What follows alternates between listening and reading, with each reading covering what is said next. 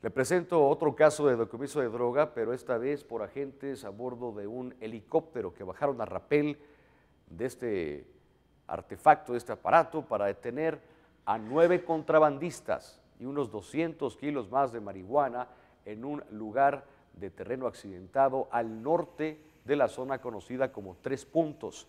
Durante el sobrevuelo los agentes observaron varios sujetos cargando estas famosas mancuernas que utilizan pues, para colgárselas a las espaldas y apoyados por vía aérea y con sogas los agentes bajaron y detuvieron a estas nueve personas burreros o las mulas que caminan con marihuana por los desiertos. Aquí están las imágenes del decomiso y la detención de estos sujetos. Así bajaron y así detuvieron a estos burreros.